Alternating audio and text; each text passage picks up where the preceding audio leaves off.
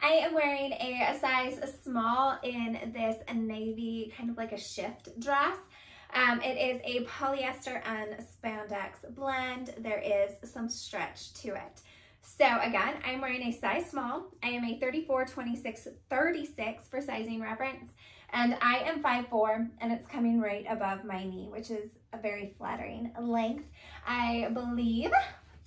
Um, it is a double layer. So it has like this mesh, um, a fabric overlaid under the slip. It is a modest scoop neckline.